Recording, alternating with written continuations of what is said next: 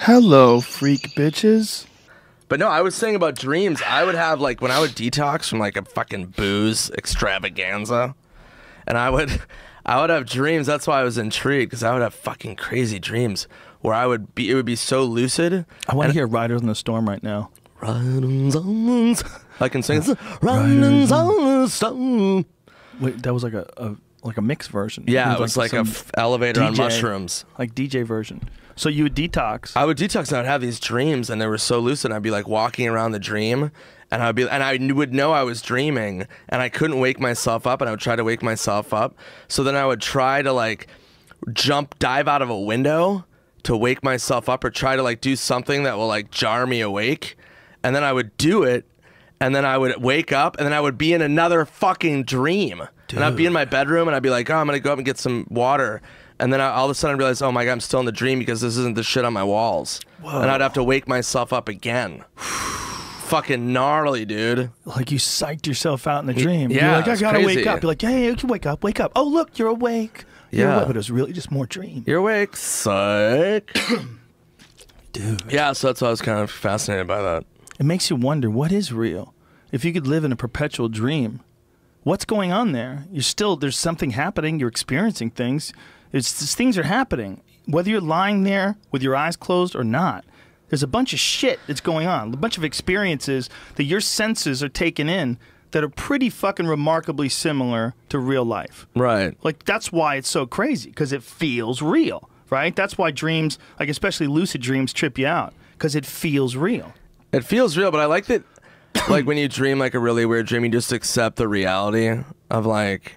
Like when I remember a dream, a dream, I'll be like, "Yeah, I just totally was in this dream and just accepted that I was like riding a rabbit, you know what I mean, like over a fucking skyscraper to like save Katy Perry's face or something." You know, we I don't just totally accept it. I'm like, "Yeah, this is what I'm doing." look at that fucking beard, that fabulous Morrison beard. People didn't have beards back then either.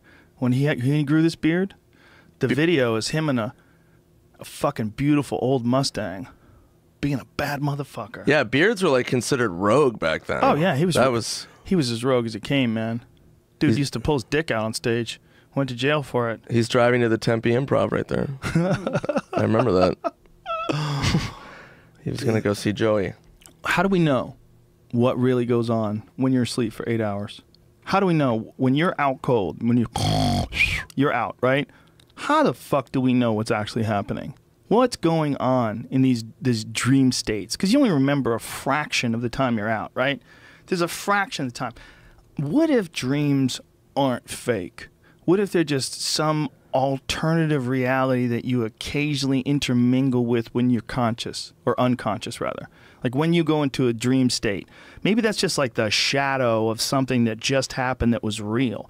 Maybe you have like these these moments that seem like 8 hours to you or 5 hours to you, but you're really interfacing with some completely different timeline and some completely different reality and uh, the world is pliable. It's not locked down like rocks aren't rocks and water isn't water, but everything's fluid and changing constantly. And that's why when you're in these dreams, you freak out because all of a sudden, like the physics of reality are gone. You're I've like walking snapped through too walls. into it, maybe. Yeah, well, you, there might be a war. Look, just the fact that this world exists in the state that it exists in, this world is very, very bizarre. Right. If it wasn't real, like if this, if reality wasn't real, if we all lived in some sort of a black and white print version of life, and then you got to experience the life that you and I know, that's doing stand up and being in LA and flying in planes and using the internet and experiencing life in the 21st century in 2017, you would be like, this is the craziest psychedelic trip. If you went to Times Square Right. you had never you had never experienced anything like human culture and you went to Times Square, you would be freaking the fuck out. Yeah, that'd be insane. It would be insane. We're just so used to it. We're so used to it. We don't realize how bizarre the actual world is. Well, So yeah, I mean, it's if- possible that these dream worlds, that these are just different worlds that you tap into when you conk out. Every night is a different world. Could be, could be infinite. Could be you're running a series of lives. Like you have multiple lives going on, and your decisions you make in this conscious life affect all of them. And maybe you have other lives when you're asleep that are conscious when you're awake, but much like you're asleep and you don't remember what the fuck is going on, when they're asleep, they don't remember what the fuck is going on. And you interface. You might not just be Nick Swardson, stand up comedian. You might be an entity that interfaces with multiple different dimensions in the night. And you just Fuck. don't remember it, just like you don't remember sleeping. Right. You don't you don't remember dreaming. You don't remember a lot of shit that happens when you're conked out for eight hours, right? Well, they probably don't remember when you're awake.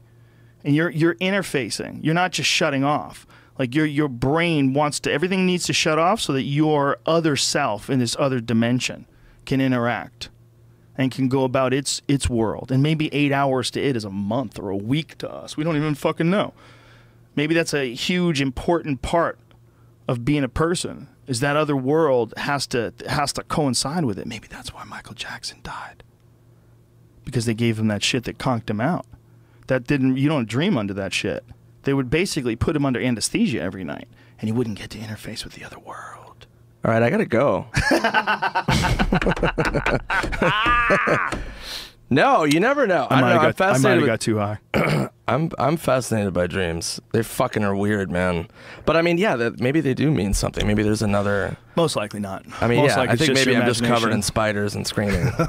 I think that's basically Well, you could work, literal. You work out stuff in your dreams sometimes. Like you'll experience I work out stuff, but I don't. I don't work out in Ever? dreams. I never go to the gym in dreams. That's a good point. I've never fucking ever worked out in, in a dream. I've never done that either. That's fucking crazy. I I just used to- realized that. I used to throw kicks in my dreams. I used to like when I was young, especially. Like girlfriends would complain. I would like twitch. I would like literally like throw a kick. Like remember when Bill Burr made jokes about it? Like it sounded like a Bruce Bruce Springsteen song, throwing kicks in the night. it was like an old Ice House Chronicles. We went on a whole rant about it. That's but it's really amazing true. Springsteen song. A lot of guys have that problem. Like fighters have that problem.